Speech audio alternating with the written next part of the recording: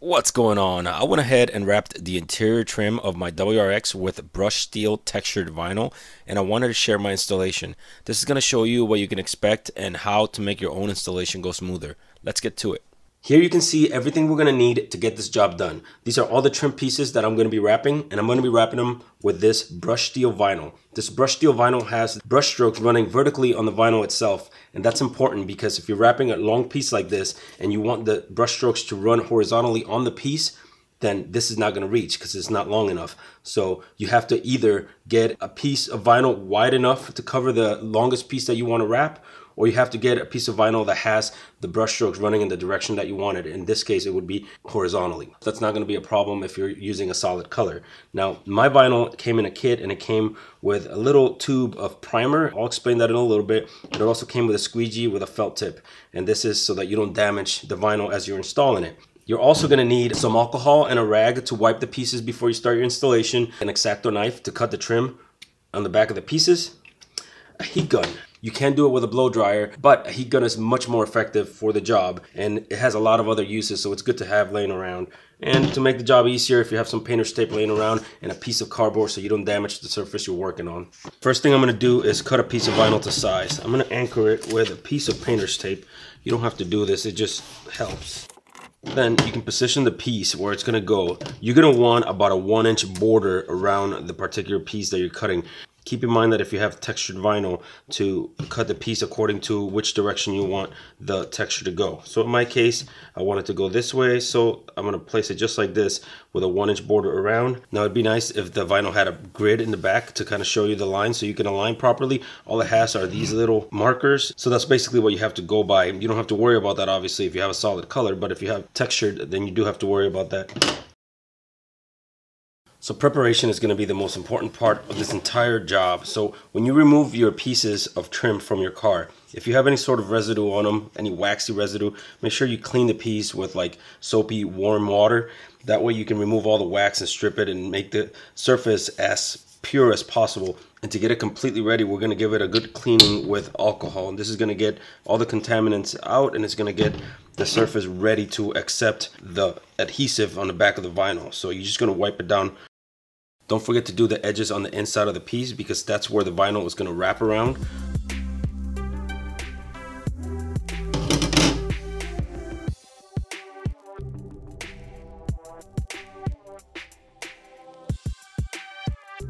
With the vinyl position where it's going to go, you can start getting the high areas. You don't have to do it very hard right now because you might have to do this right here that I'm doing.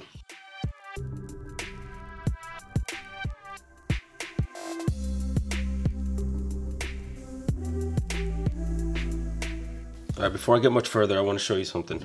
This step right here is not mandatory. This primer is going to help the adhesive on the back of the vinyl really, really grip onto the piece. This is not meant to go on the entire surface of the piece that you're covering. This is only meant to go on the very edges where the vinyl is going to wrap around. Basically, it's going to make your installation last longer.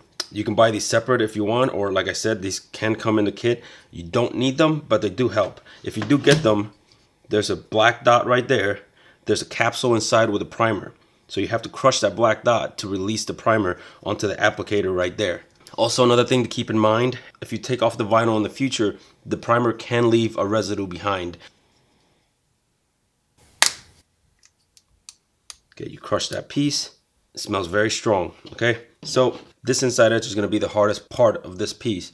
So I like to start with the hardest part. All I'm doing is taking the applicator and going around the perimeter of that inside edge.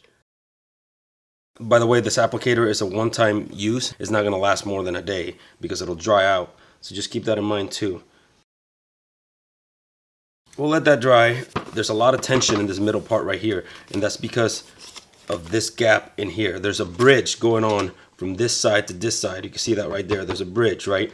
When you have situations where there's a bridge like that, what you want to do is minimize the tension on the corners. And the way you do that is by starting down the middle and then working your way outward. If you started on this side, you're gonna cause too much tension on this side and vice versa.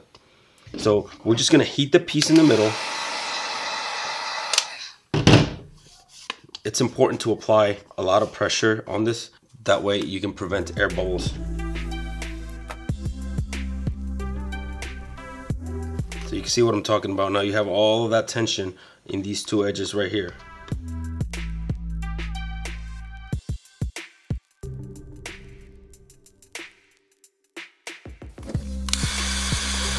When it comes to vinyl, heat is your friend, but you don't want to overstretch the vinyl.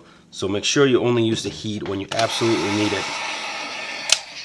And if you're working like I am with your fingers, make sure that your nails don't scratch up the vinyl. You can't scratch it. So I'm being very careful here.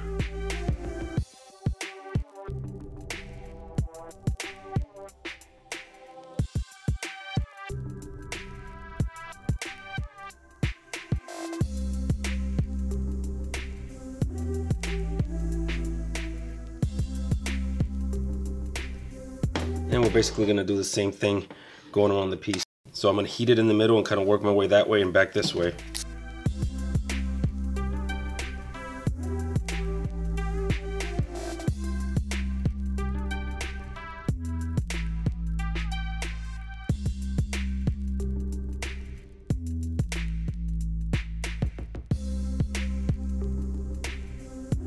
Alright, so I'm gonna turn the piece over here in a second, but before I do, I want to make absolutely certain that there's no trapped bubbles of air anywhere. So I'm going to give it a good look, especially in the corners where there was a lot of tension. So I'm really paying a lot of attention to this corner here and that corner there, and these corners. And I don't see any air anywhere. So what I'm going to do now is I'm just going to cut out a hole down the middle to relieve some of that tension in here so I can finish wrapping the corners. These corners are nice and rounded, so I shouldn't have a problem stretching the vinyl over them without having to cut deep slits in it. When you cut to relieve the tension, make sure you leave yourself about an inch working surface because remember you're going to have to wrap the vinyl around. It's better to be conservative with these slits rather than overdo it and find out later. So if you want to cut more after you start heating, then you could do that. But if you cut too much and you bring it to the corner, then you can't fix it.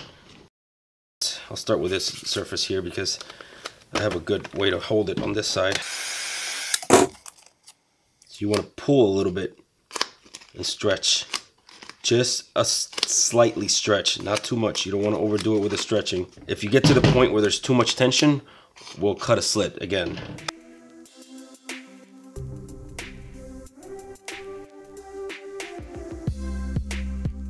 Cut a little slit here because there's a little tension there. So we're going to end up wrapping that around, but we just have to be patient and do it slowly. From this point, it's basically rinse and repeat. Keep applying heat so that the vinyl remains pliable. If you try to stretch it while it's cold, you can easily rip it. The goal here is to wrap the vinyl around the rim and then once we're done we can trim the excess. This requires a bit of patience so take your time and you'll be okay. Once you're satisfied you can go ahead and use the X-Acto knife to cut all that excess off.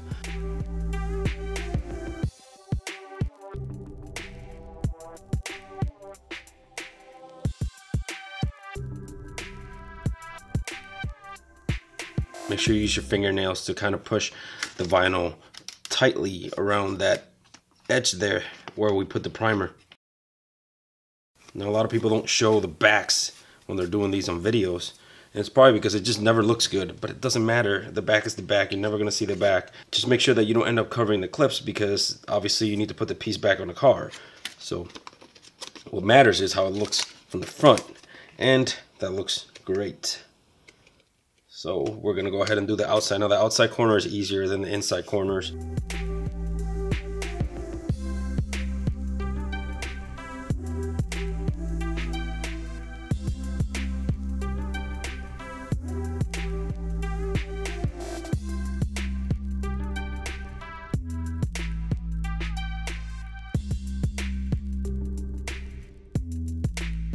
Now the corners are the hardest part to do. We're gonna heat it up and then we're gonna kind of spread the corner out so neither side it has too much material. So we're gonna basically spread the material evenly on both sides. So I'm just heat it up and I'm gonna grab it and at an angle pull it over this.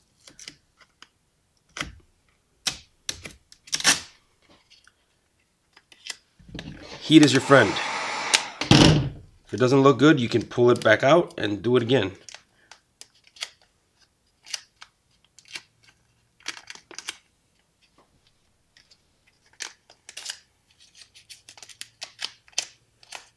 See right there? It doesn't look bad at all already.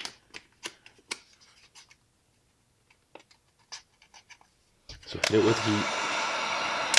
When you hit it with heat, it kind of wraps around the corner. And that's when it wraps and it doesn't, you know, come off, that's when you know you're good. Okay. So that's, you know, that's that's good right there. Especially with a primer, that's not going anywhere. Just a little bit. Okay, it's good there. So that doesn't look bad, and that doesn't show anyways, but it doesn't look bad. I'll do the same thing on this side.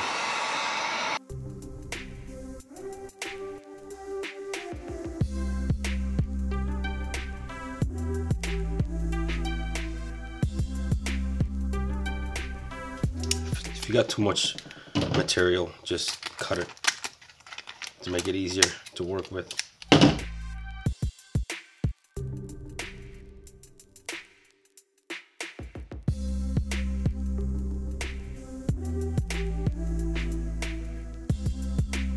So I'm doing is pushing the vinyl onto that edge. Make sure we have a solid connection there. And then we'll cut the excess off.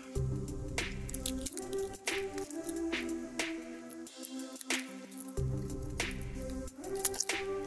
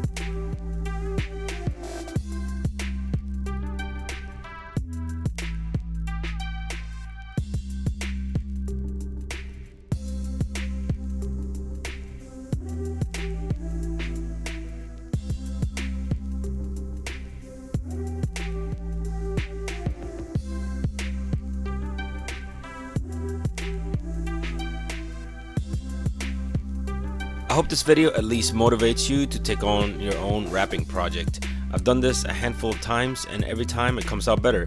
With a little patience you can transform your car to suit your own taste. Be sure to leave the video a like if it was useful to you and consider subscribing for more content just like this. Thank you so much for watching and take care.